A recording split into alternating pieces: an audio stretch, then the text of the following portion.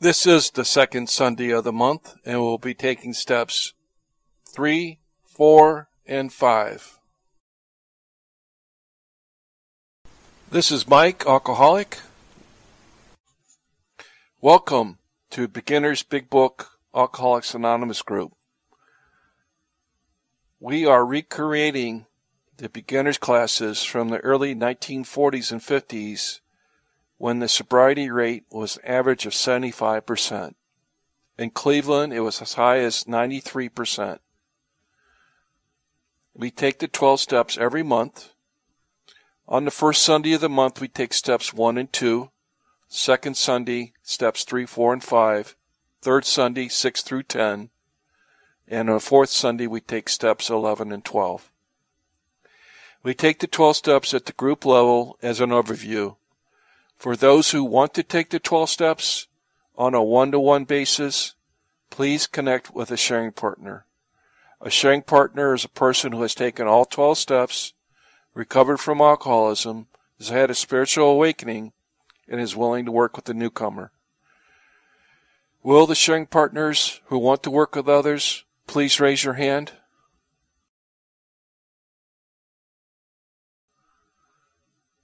Thank you. For the people that want to take the 12 steps, please connect with a sharing partner after the meeting ends. We have big books for sale at group cost of $8. Each page and paragraph is numbered. Please do not write in the book. This is the AA preamble.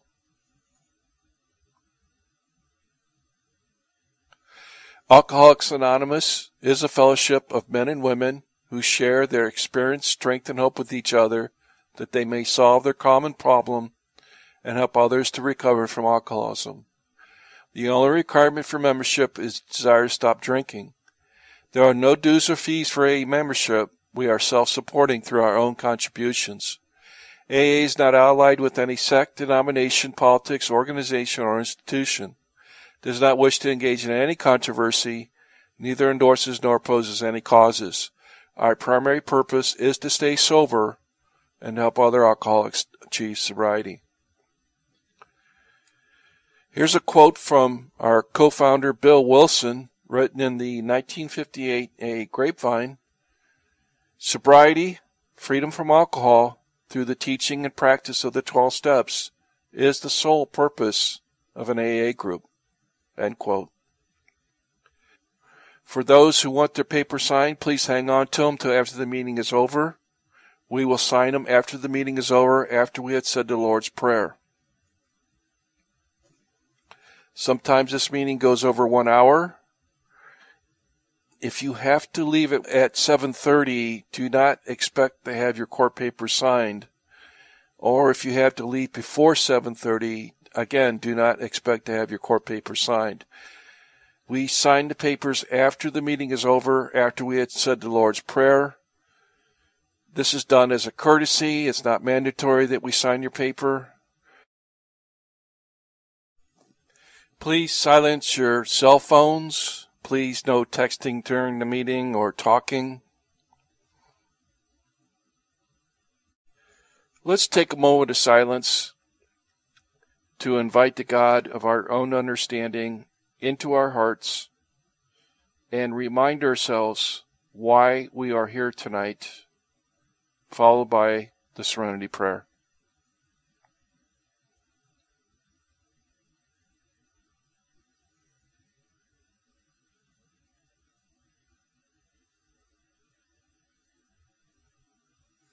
God, grant me the serenity to accept the things I cannot change courage to change the things I can, and the wisdom to know the difference.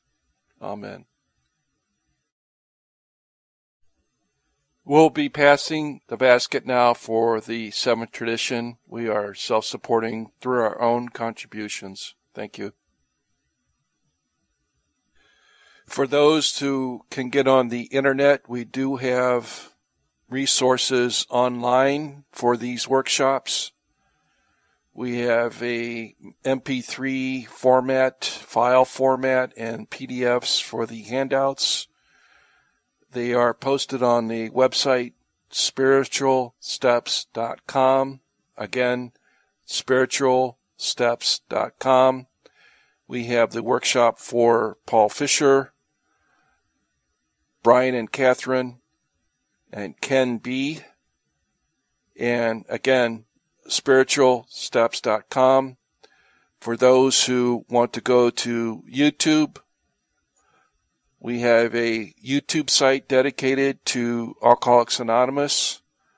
Simply Google AA10011 and that will take you directly to the YouTube channel where currently there's over 19,000 subscribers and over 370 videos A to Z pertaining to Alcoholics Anonymous and recovery from alcoholism.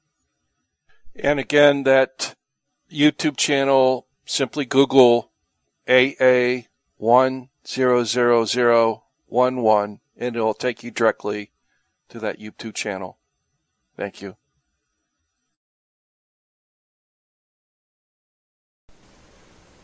Before we start the steps tonight, we have a 20 minute talk briefly describing the back to basic format as it was done back in the 1940s.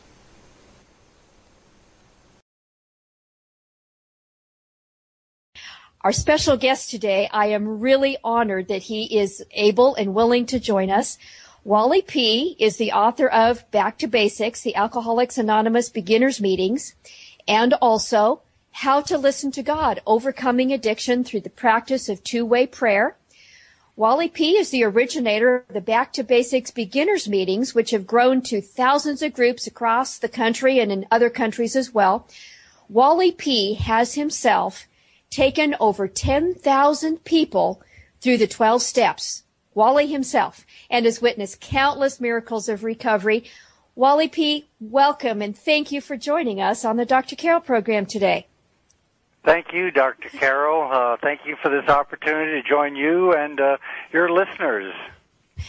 I want to say, first of all, that I, with you, am grateful that God has brought you health. I know you had some health challenges. You're doing well. You're traveling again. And I'm really excited about that for you and also for the people that you're able to share this, this good news with.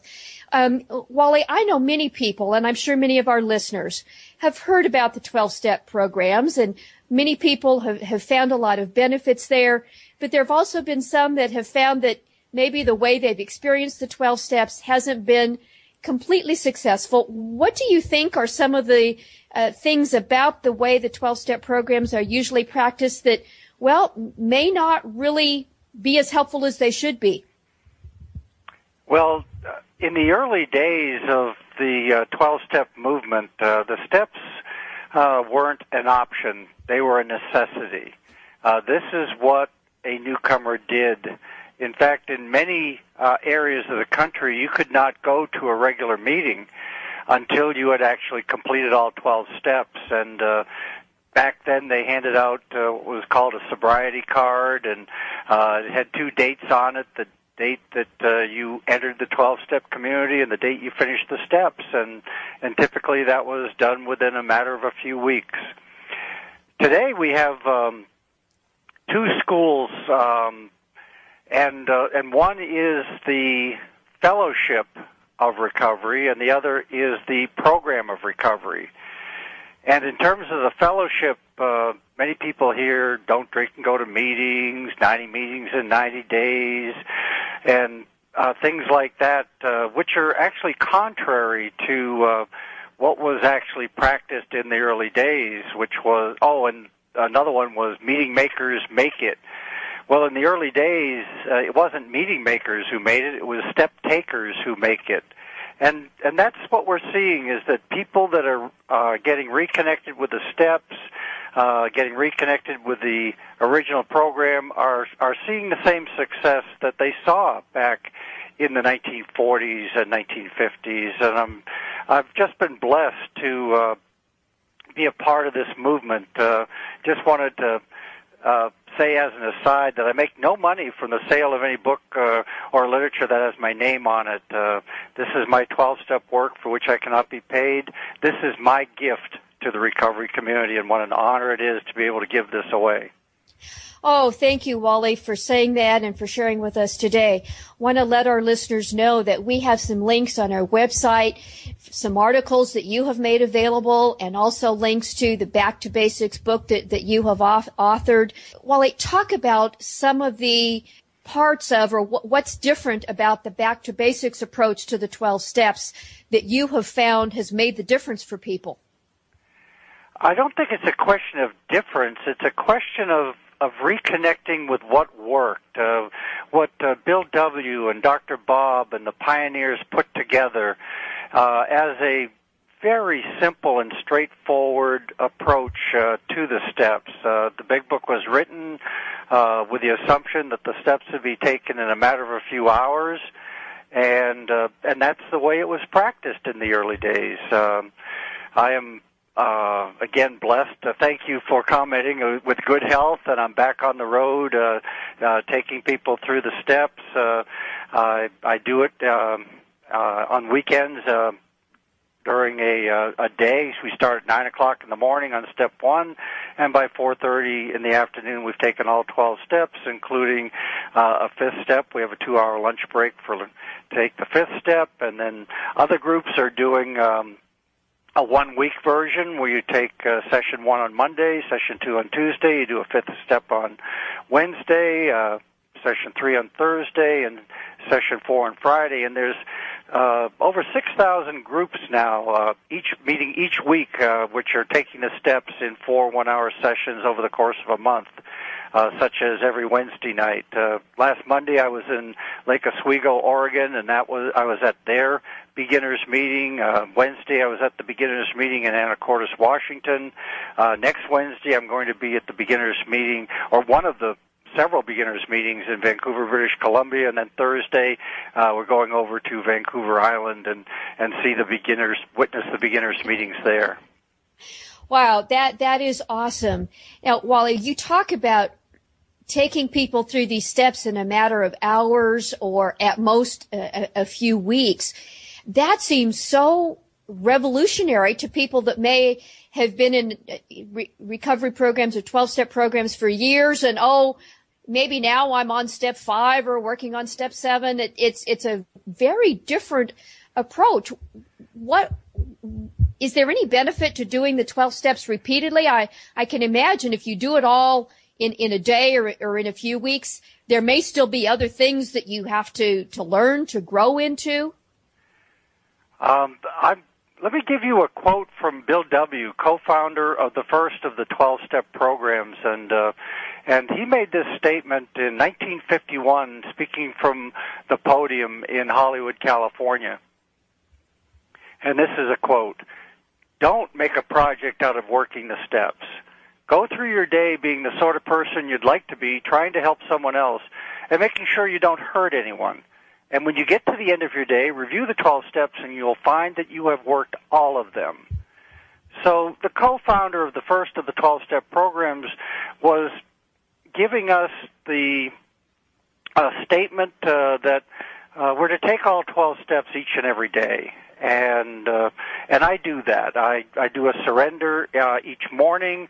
I share with others throughout the day. I make amends quickly if I've harmed anyone. I forgive uh, people who may have harmed me, and uh, I again as part of my morning uh, quiet time, I listen to the indwelling spirit, and I write guidance, and I follow it to the best of my ability during the day, and review it at night and try to help somebody else, uh, at least at least one or two uh, each and every day.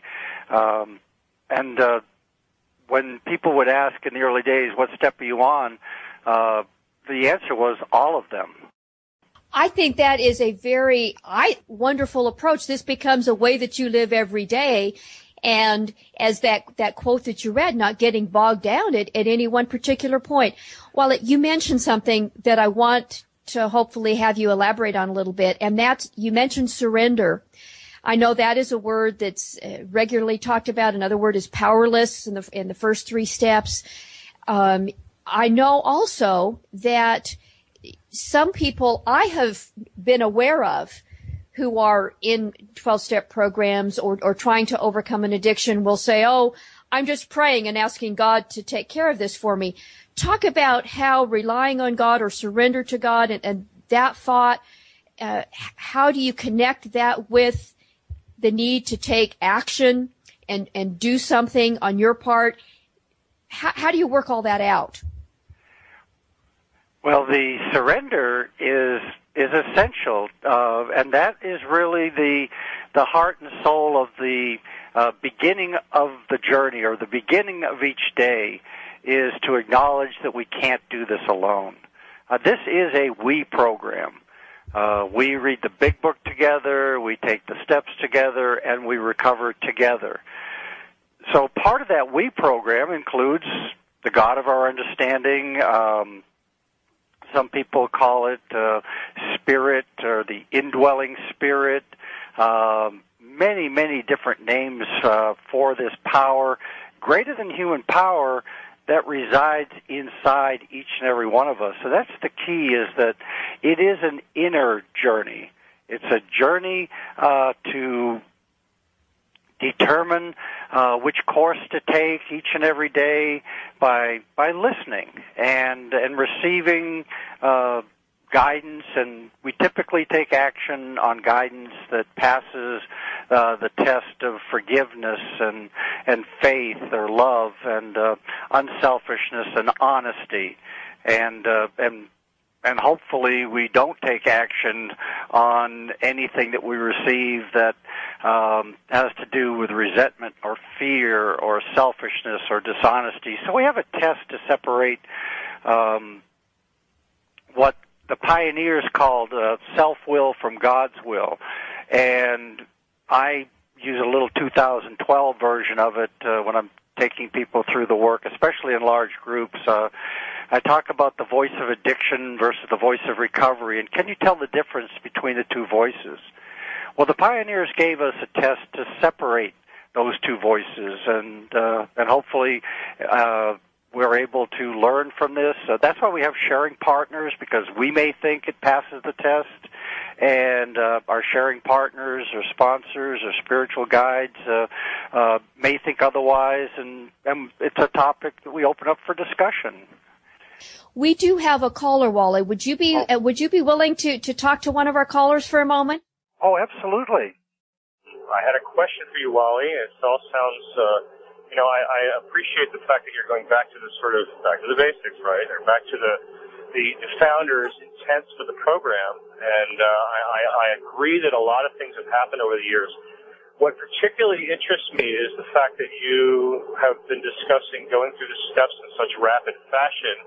I agree that can sometimes drag on unnecessarily and people hem and haw.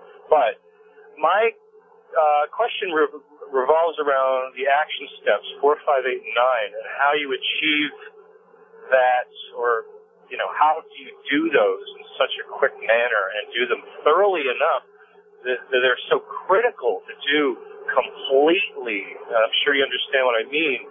How do you address that so quickly? Oh, excellent question, Jason. Um, let me talk about the uh, that uh, particular part of the program in terms of a concept that's relatively new. It's not a concept uh, uh, from the uh, 40s or 50s, but one that I particularly uh, enjoy in terms of visualization is that uh, uh, we peel the onion. That's why we take the steps again and again and again and again. And the and the key is to uh, get through uh, that process in one sitting. Uh, the sponsor and the newcomer sit down together and the sponsor asks the questions and the newcomer does the talking and the sponsor uh, actually writes the four step. I know this this sounds like heresy to some people today, but this is the way it was done. And uh, as an archivist historian for the 12 step community and and having had open access to every archival collection in the United States and Canada and interviewing more than 200, 300 people uh, that got sober in the 1940s. I am passing on their message and not mine. Um, that it was done in one sitting, and then uh, you talk about it, and then you come up with an amends list, and then you role play the amends. And uh, and part of the amends was uh, the concept that the uh, sponsor was the first person the newcomer saw after amends was made, uh, either in person or over the telephone. And uh, um, but the whole uh, process of doing this in one sitting is part of the way of looking at the steps as a continuum rather than as 12 distinct and and separate entities, uh, a continuum Wally, of process. Wally, I'm, I'm sorry we are running a little close to our break. Are you able to perhaps hold on for a few minutes? I love this discussion, and if you're able, Certainly. maybe we could just have you hold on for a few minutes after our break. I would be honored. Our very special guest today, Wally P., is the author of Back to Basics, the Alcoholics Anonymous Beginners Meetings, and also How to Listen to God, Overcoming Addiction Through the Practice of Two-Way Prayer. Wally has taken over 10,000 people through the 12 steps of recovery over very short periods of time. And we've been talking with Wally about the Back to Basics approach and Jason calling while uh, driving his truck through Kentucky was asking Wally about the action steps, uh, the four particular action steps in the 12 step programs and taking uh, those very, very quickly. And I, I think Wally, you gave a very good, very good synopsis of answering that. You need to at least get a certain level through those action steps quickly, even though you may have to come back and do more later. A- am I right there? Oh yes, and let me clarify uh, for Jason and the uh, rest of the listeners that um, back to basics. Uh, we describe it in terms of the tourniquet, and uh, I found it ironic that today is the uh, uh, on this date the Band-Aid was invented. Uh, that's another way of looking at uh, at these beginners meetings uh, and the and the back to basics approach. And the example would be uh, a hospital. If you go to the hospital and you're and you have a knife wound uh, and you're bre- bleeding profusely, uh, the doctor doesn't hand you a book and send you home and tell you to read it. He puts on he or she puts on the tourniquet and then moves on to the next emergency patient. And then another person will come along and and uh, suture up the wound, and, and possibly a third person come along and and put on uh, the bandage and uh, give you a shot of antibiotics and send you home. Back to basics is just the tourniquet. This is just to keep you alive long enough so that you can take the steps in more depth and detail again and again and again and again and get deeper into those layers of the onion. If you don't put the tourniquet on, you're not going to be alive long enough to take the steps in more depth and detail. Does that help, Jason? Yes, that's a great answer. Thank you, Wally. Um, as you said, there's there's a whole lot. I've heard that expression myself in the rooms a number of times, of course, and it's a very good uh, analogy for the process of, of undoing uh, so many years of, of having lived with this illness and all the destructive events that have happened in your life. So uh, that's um, I appreciate your time today. Thank you for having me on, and uh, it was great to talk to you both. And thank you, Wally. Wally, another question that I, I hope you can address. In your book, How to Hear from God, the, the two-way prayer, and I know Yeah. you, you've alluded to that a couple times. Just briefly share what that whole practice is about. Uh, this practice uh, has been around for centuries and centuries. It, it's not unique to uh, the 12-step community, um, though our 11-step makes it crystal clear as to what we are to do in terms of action. It says uh, sought through prayer and meditation. Prayer is talking to God, talking to the indwelling spirit, uh, typically in prayer. Uh, but the second half of it is listening for the answers. It's um, it it's a two-way communication because uh, as a result of becoming a listener, and that's many of the pioneers consider the steps all about. Steps one through ten were to remove the blocks that prevent us from becoming effective listeners. Step eleven teaches us how to listen, and step twelve we let God do the talking as we work with others. So it, it is about listening and it is about being guided in terms of messages that we receive either through sight or sound or sensation or, uh, knowing. Those are the four channels that uh, that Bill described on page 14 of the Big Book: uh, sight, sound, sensation, and knowing. And then further on in the Big Book, it talks about uh, inspiration, intuitive thought, or a decision is how, how the Spirit will uh, talk to us through inspiration, intuitive thought, or a decision. And we have to be careful with the decisions because it could be a, a yes or no, but keep in mind that wait is a decision. And uh, and be careful right. with the fourth one. If you insist, uh, if you insist on taking your will back, uh, guess what? We get it back, and then we're off to the races, and uh, uh, usually with very negative consequences. So uh, it's a it's a powerful tool. Uh, there are 11 step guidance meetings that have sprung up all over the country and around the world where people actually use this as a meeting format. Uh, it was a meeting format in the early days of the recovery movement. Uh, started in Dr. Bob's living room in the summer of 1935. Bill and Bob both practiced it on a daily basis, um, and it uh, again uh, has become a lost piece of our history that's now being uh, rediscovered and uh, and reemphasized. I want to let our listeners know that you have made some articles available that we have put links to on our website. I was really touched by one of them. You had a large number of quotes from people who have experienced the, the back to basics beginners meetings, some who were beginners, but some who continue to include that approach in their in their daily life of of, of living healthy and, and recovery. I, I, have to say I was I was rather touched by by some of those letters and and, stories of people who have really uh, really found healing and, and, recovery in this approach. I I imagine you hear that a lot, Wally. Oh, I, I am so blessed, Dr. Carol, um, to uh, receive uh, all of this very, very positive feedback, uh, and not just from the people that I've taken through the steps personally, but the thousands of people that are conducting the meetings and, and the more than 500,000 people that have been through the work, uh, and, uh, also, um, how the work has been incorporated into other 12-step programs uh, other than the original uh, um, basic recovery for food addiction and basic recovery for sex addiction. And the General Service Office in New York has asked us to reserve back to basics uh, for the first of the 12-step programs having to do with alcohol.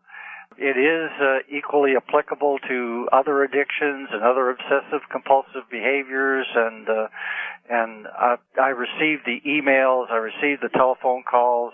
I just got a phone call earlier this week from a man who was returning to Russia. He uh, he started Back to Basics in St. Petersburg and had Back to Basics translated into Russian, and then he took it to Moscow.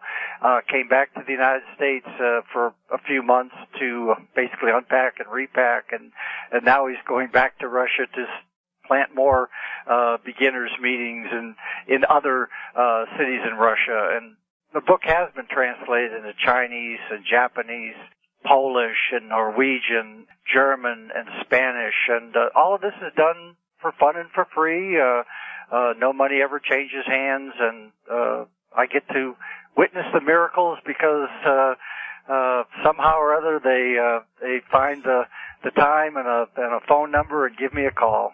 It's uh, just a, just an awesome to hear the, about their miracles.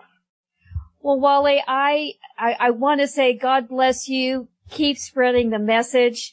You know, you have really touched my heart and, and I know our listeners. I appreciate you taking some of your weekend time from your, spending some time with your family to be with us today. We're really pleased and honored and go with God. Oh, you too. And, uh, as, uh, Dr. Bob and Bill used to say, uh, keep it simple and pass it on. Keep it simple and pass it on. Thank you, Wally, and we'll have to stay in touch. Thank Bye-bye you, Dr. now. Carol.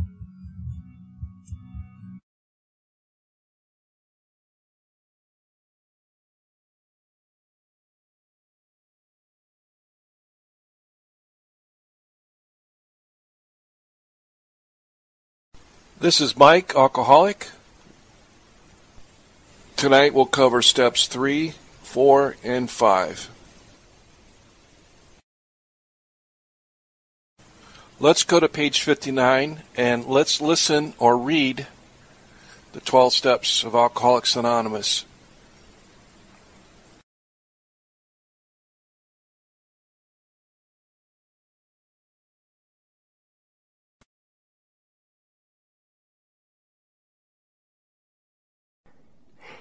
Here are the steps we took, which are suggested as a program of recovery.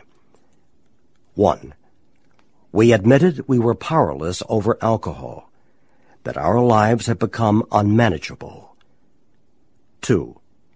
Came to believe that a power greater than ourselves could restore us to sanity. 3. Made a decision to turn our will and our lives over to the care of God as we understood him. 4. Made a searching and fearless moral inventory of ourselves. 5. Admitted to God, to ourselves, and to another human being the exact nature of our wrongs.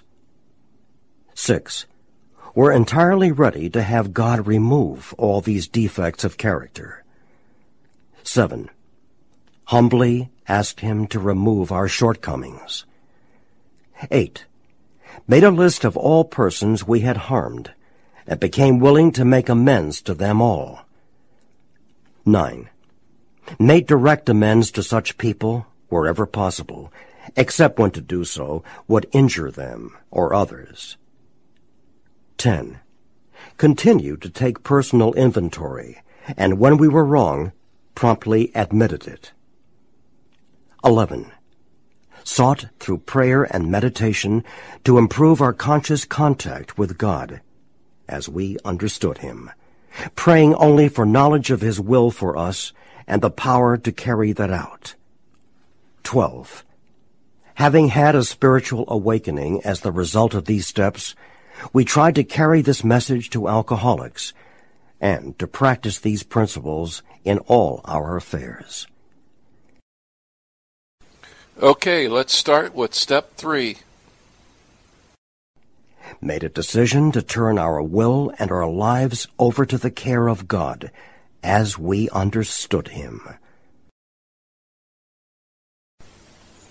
Let's go to page 63, paragraph 3.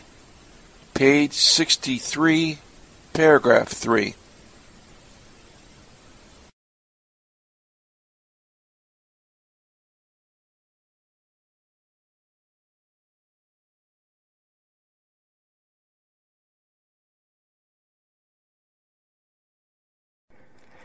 We thought it very desirable to take this spiritual step with an understanding person, such as our wife, best friend, or spiritual adviser. But it is better to meet God alone than with one who might misunderstand. The wording was, of course, quite optional so long as we expressed the idea, voicing it without reservation. This was only a beginning, though if honestly and humbly made, an effect, sometimes a very great one, was felt at once.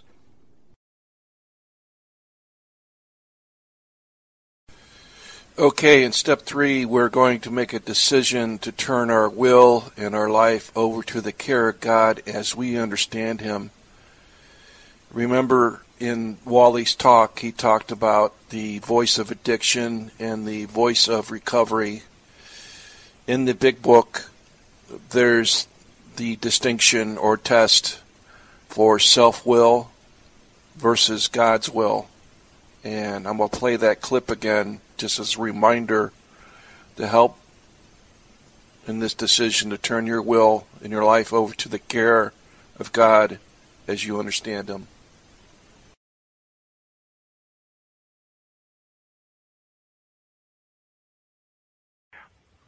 Well, the surrender is is essential, uh, and that is really the the heart and soul of the uh, beginning of the journey or the beginning of each day is to acknowledge that we can't do this alone. Uh, this is a we program. Uh, we read the big book together, we take the steps together, and we recover together. So part of that we program includes the God of our understanding. Um, some people call it uh, spirit or the indwelling spirit. Um, many, many different names uh, for this power, greater than human power that resides inside each and every one of us. So that's the key is that it is an inner journey. It's a journey uh, to determine uh, which course to take each and every day by by listening and and receiving uh, guidance, and we typically take action on guidance that passes uh, the test of forgiveness and and faith or love and uh, unselfishness and honesty, and uh, and and hopefully we don't take action on anything that we receive that um, has to do with resentment or fear or selfishness or dishonesty. So we have a test to separate um, what the pioneers called uh, self will from God's will, and I use a little 2012 version of it uh, when I'm taking people through the work, especially in large groups. Uh, I talk about the voice of addiction versus the voice of recovery, and can you tell the difference between the two voices? Well, the pioneers gave us a test to separate those two voices, and uh, and hopefully. Uh, we're able to learn from this. Uh, that's why we have sharing partners because we may think it passes the test, and uh, our sharing partners or sponsors or spiritual guides uh, uh, may think otherwise, and, and it's a topic that we open up for discussion.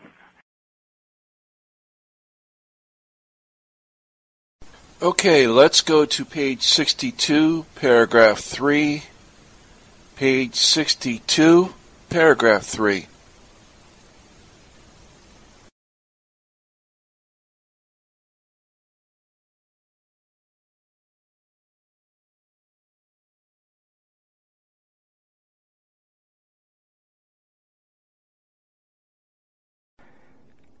This is the how and why of it. First of all, we had to quit playing God. It didn't work. Next, we decided that hereafter in this drama of life, God was going to be our director.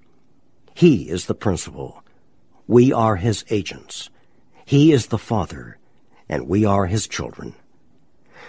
Most good ideas are simple, and this concept was the keystone of the new and triumphant arch through which we pass to freedom. When we sincerely took such a position, all sorts of remarkable things followed. We had a new employer. Being all-powerful, he provided what we needed, if we kept close to him and performed his work well. Established on such a footing, we became less and less interested in ourselves, our little plans and designs. More and more, we became interested in seeing what we could contribute to life.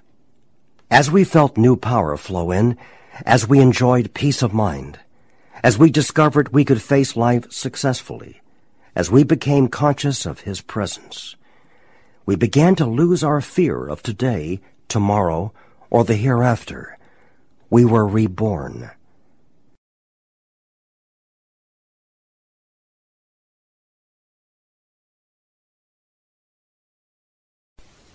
Let's go to page 63, paragraph 2. Page 63, paragraph 2.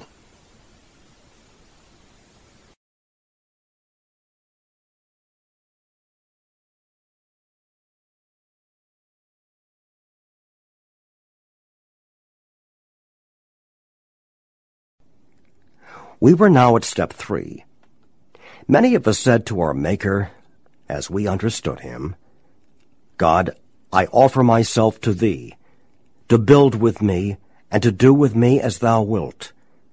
Relieve me of the bondage of self, that I may better do thy will.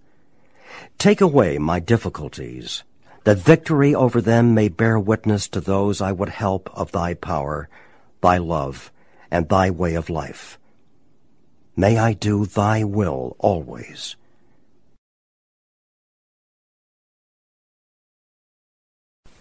Okay, what we just read is what is called the third step prayer. For those who are ready to take the third step and make a decision to turn your will and your life over to the care of God as you understand Him, we will repeat this prayer together. So, everybody, please stand and we will say the third step prayer together.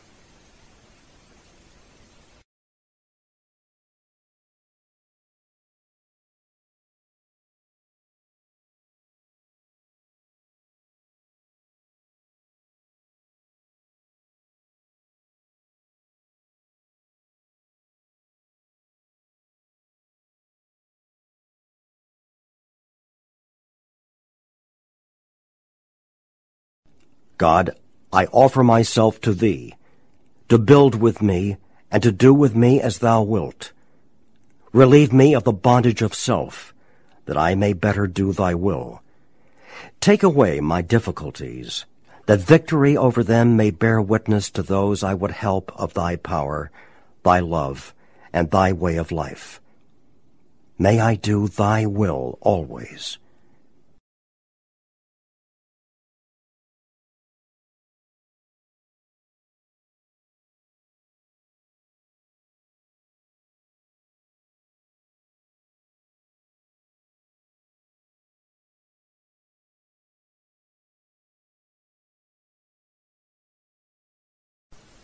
Okay, thank you. We have now completed step three. Let's move on to step four. Made a searching and fearless moral inventory of ourselves. In step four, we're going to inventory our life and remove the blocks that stop us from receiving the sunlight of the Spirit or the God inside us, this indwelling Spirit. So, in the blocks that we have, that we have to inventory, the number one offender is resentment. It's anger remembered. The second inventory item is fear. We list our fears. And then the third inventory is the sexual conduct was it selfish or not? And then we have uh, the list of harms that we've done to other people. Let's look at some of the quotes out of the book concerning resentment, fears, and sexual conduct.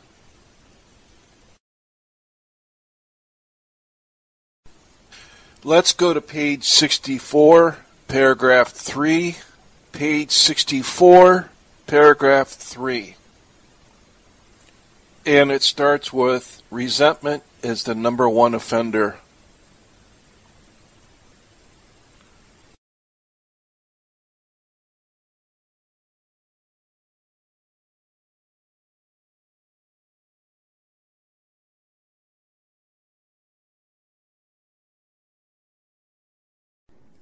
Resentment is the number one offender. It destroys more alcoholics than anything else. From it stem all forms of spiritual disease. For we have been not only mentally and physically ill, we have been spiritually sick. When the spiritual malady is overcome, we straighten out mentally and physically. In dealing with resentments, we set them on paper. We listed people, institutions, or principles with whom we were angry we asked ourselves why we were angry. In most cases, it was found that our self-esteem, our pocketbooks, our ambitions, our personal relationships, including sex, were hurt or threatened. So we were sore. We were burned up. On our grudge list, we set opposite each name our injuries. Was it our self-esteem, our security, our ambitions, our personal or sex relations, which have been interfered with? Let's go to page 66, paragraph 1. Page 66, paragraph 1.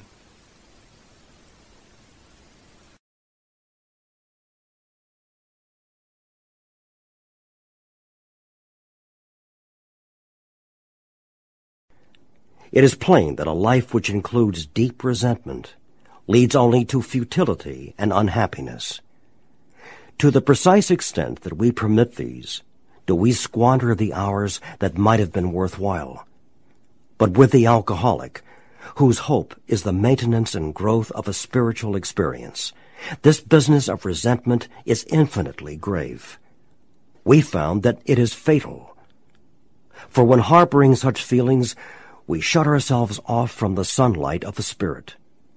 The insanity of alcohol returns, and we drink again. And with us, to drink is to die. Well, let's go to page 67, paragraph 2. Page 67, paragraph 2.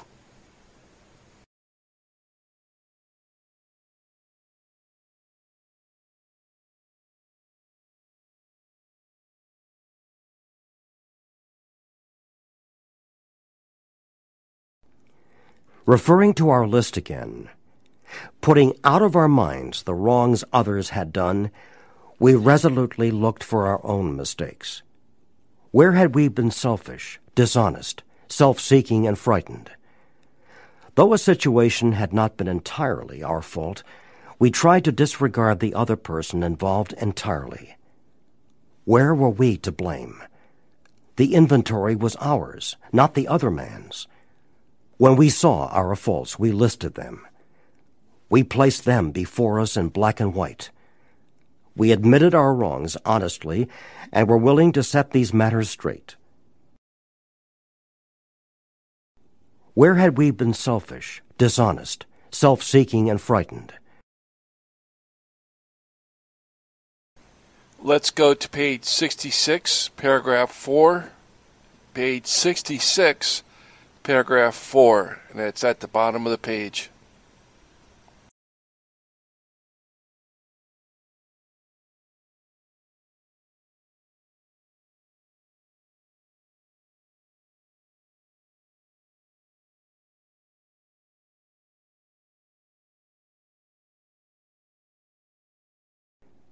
This was our course. We realized that the people who wronged us were perhaps spiritually sick Though we did not like their symptoms and the way these disturbed us, they, like ourselves, were sick too. We asked God to help us show them the same tolerance, pity, and patience that we would cheerfully grant a sick friend. When a person offended, we said to ourselves, This is a sick man. How can I be helpful to him? God save me from being angry. Thy will be done. We avoid retaliation or argument. We wouldn't treat sick people that way. If we do, we destroy our chance of being helpful. We cannot be helpful to all people, but at least God will show us how to take a kindly and tolerant view of each and every one.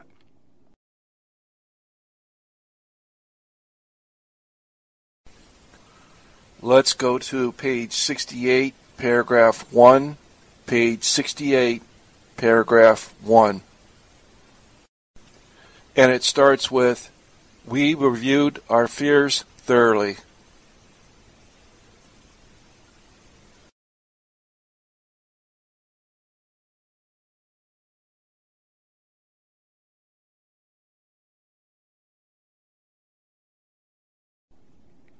We reviewed our fears thoroughly. We put them on paper even though we had no resentment in connection with them. We asked ourselves why we had them. Wasn't it because self-reliance failed us? Self-reliance was good as far as it went, but it didn't go far enough. Some of us once had great self-confidence, but it didn't fully solve the fear problem or any other. When it made us cocky, it was worse. Perhaps there is a better way. We think so. For we are now on a different basis. The basis of trusting and relying upon God. We trust infinite God rather than our finite selves. We are in the world to play the role He assigns. Just to the extent that we do as we think He would have us and humbly rely on Him, does He enable us to match calamity with serenity. We never apologize to anyone for depending upon our Creator. We can laugh at those who think spirituality the way of weakness. Paradoxically, it is the way of strength. The verdict of the ages is that faith means courage. All men of faith have courage. They trust their God. We never apologize for God. Instead, we let Him demonstrate through us what He can do. We ask Him to remove our fear and direct our attention to what He would have us be. At once, we commence to outgrow fear.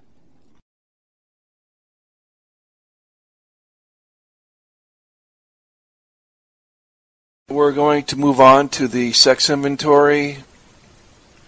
So, this is all about our sexual conduct or behavior. Let's go to page 69, paragraph 1 page 69, paragraph 1. Go four lines up from that paragraph where it says, We want to stay out of this controversy.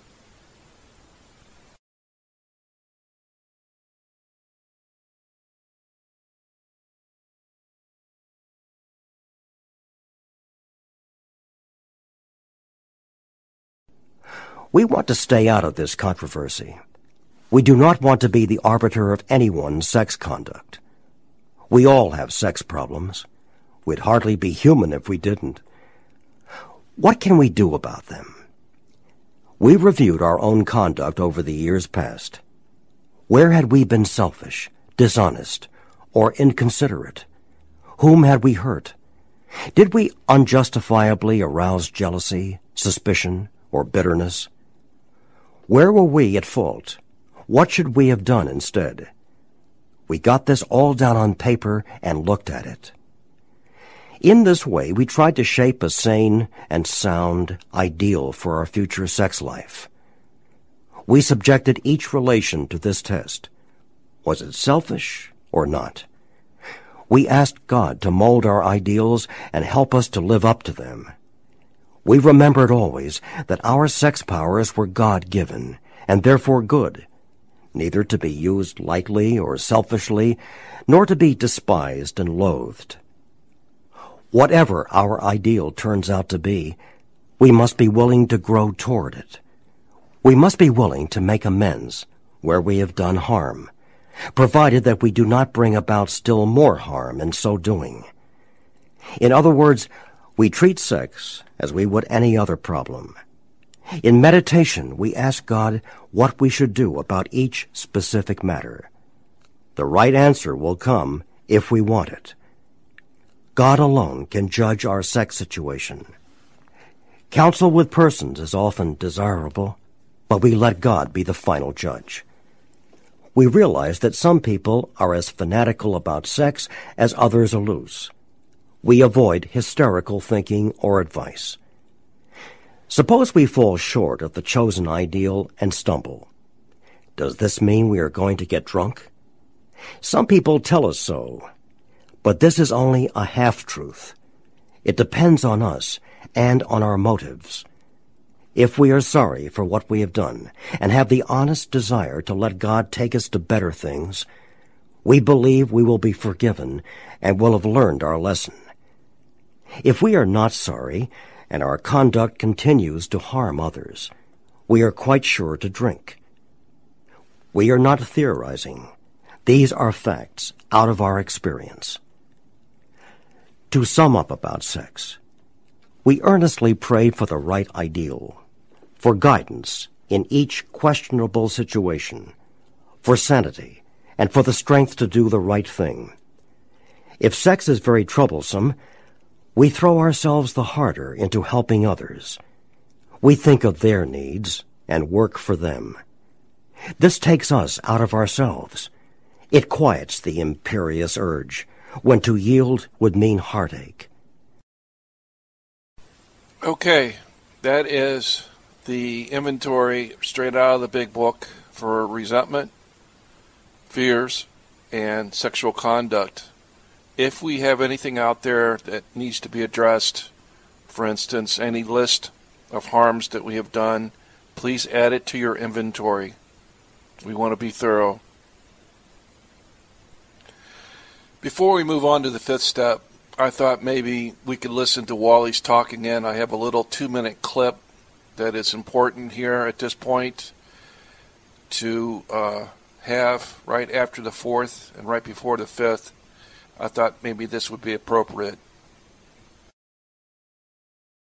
My uh, question re- revolves around the action steps four, five, eight, and nine, and how you achieve that, or you know, how do you do those in such a quick manner and do them thoroughly enough that, that they're so critical to do completely? I'm sure you understand what I mean. How do you address that so quickly? Oh, excellent question, Jason.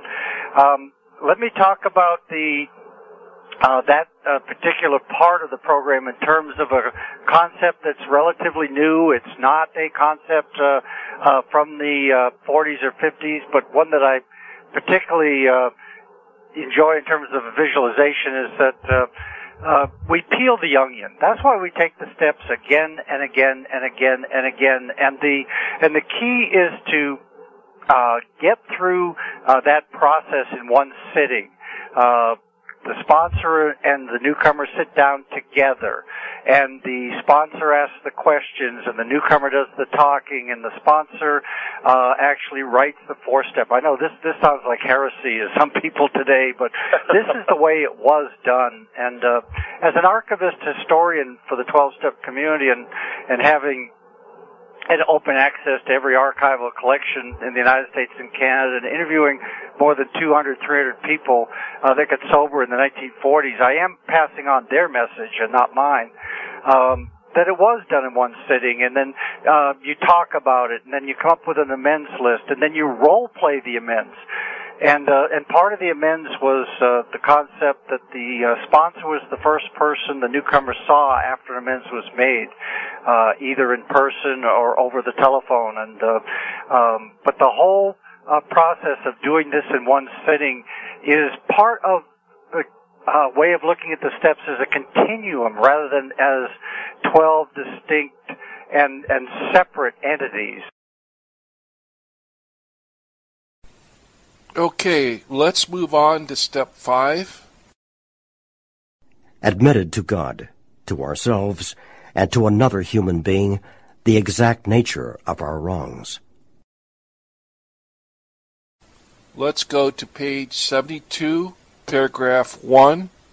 Page 72, paragraph 1.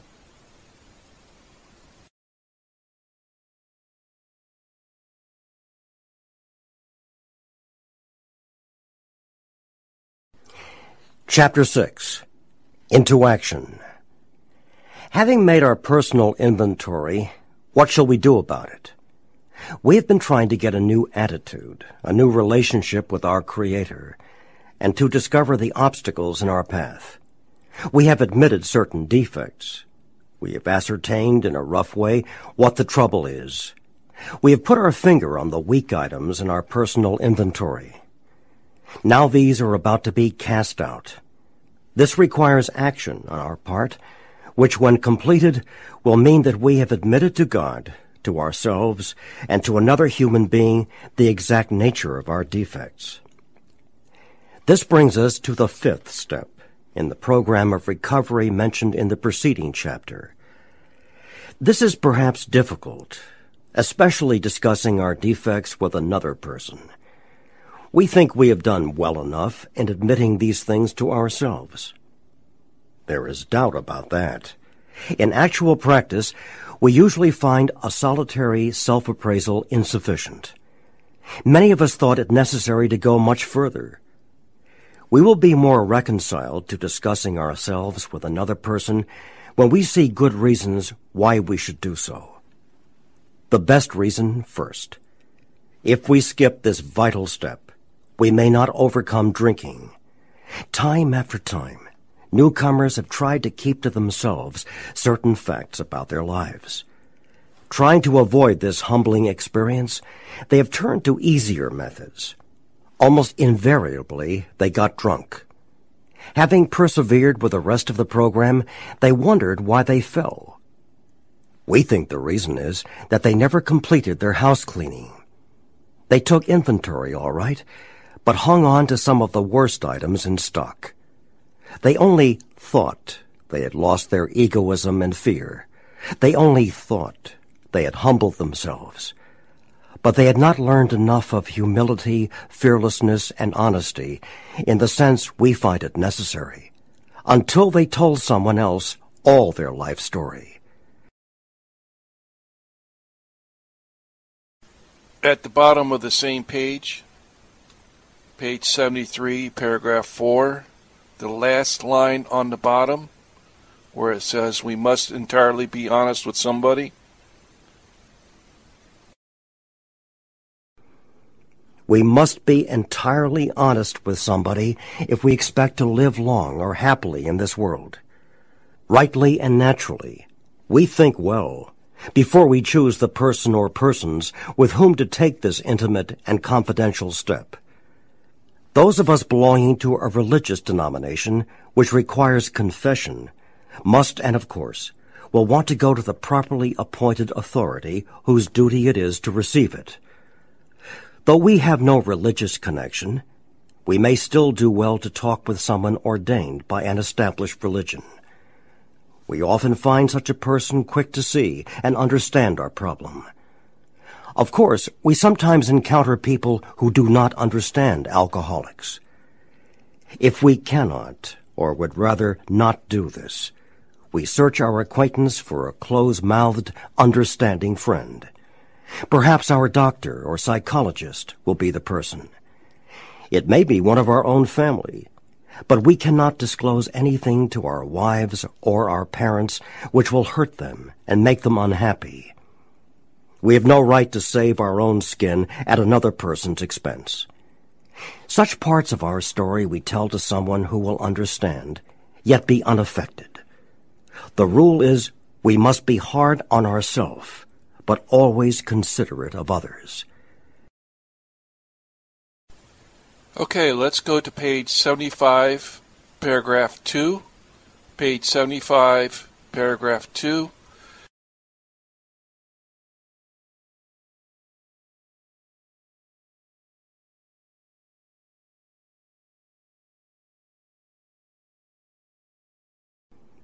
We pocket our pride and go to it illuminating every twist of character, every dark cranny of the past.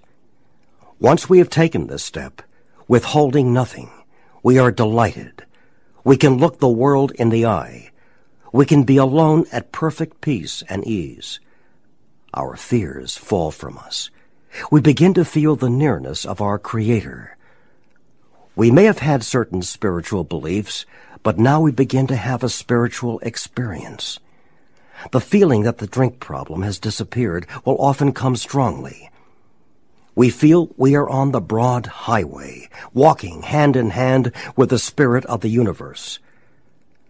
Returning home, we find a place where we can be quiet for an hour, carefully reviewing what we have done. We thank God from the bottom of our heart that we know Him better. Taking this book down from our shelf, we turn to the page which contains the twelve steps. Carefully reading the first five proposals, we ask if we have omitted anything, for we are building an arch through which we shall walk a free man at last. Is our work solid so far? Are the stones properly in place? Have we skimped on the cement put into the foundation? Have we tried to make mortar without sand? If we can answer to our satisfaction, we then look at step six.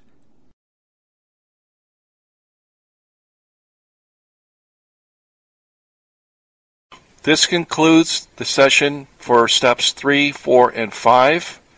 Thank you for being here, and thank you for letting me help you today. Next week, we will cover steps six, seven, eight, nine, and 10.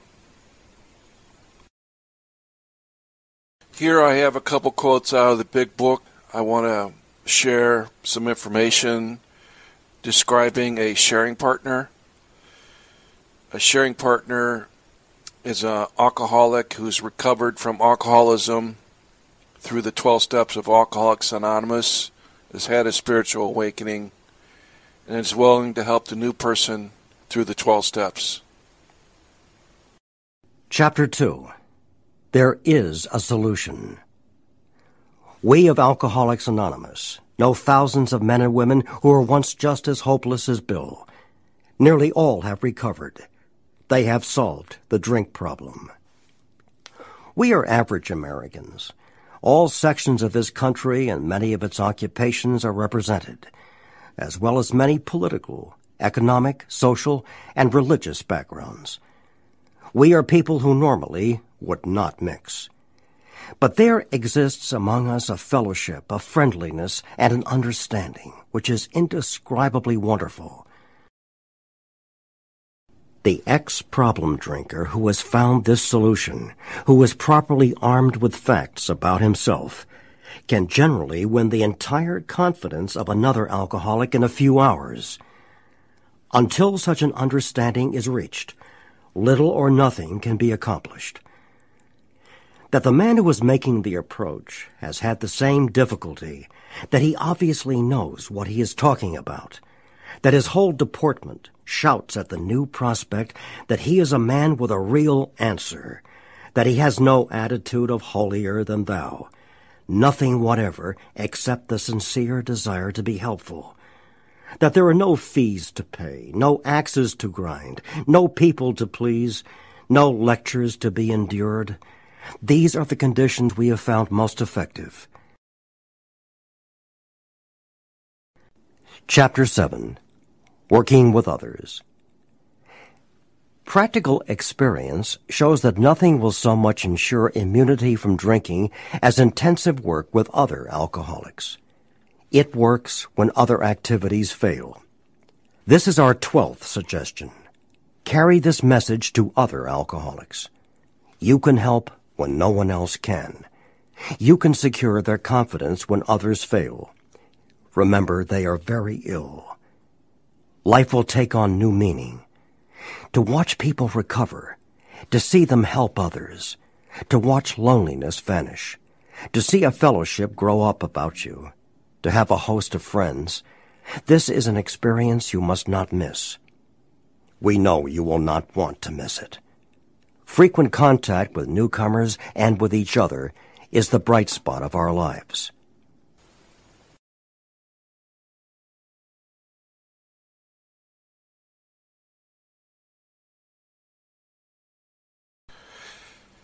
Beginner's Big Book Group provides sharing partners for those who want to take the 12 steps of Alcoholics Anonymous.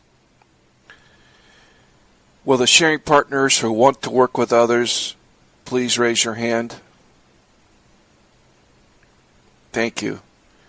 I have one last quote from the Big Book. It comes from the chapter A Vision for You, and then we'll close with the Lord's Prayer.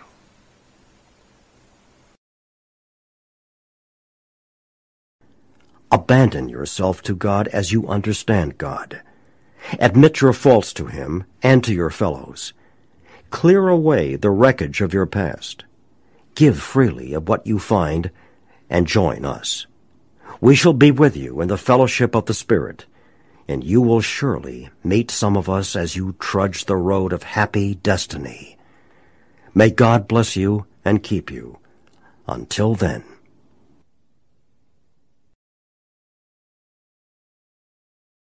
In honor of our AA pioneers in the old tradition, we'll simply stand without holding hands and close this meeting with the Lord's Prayer.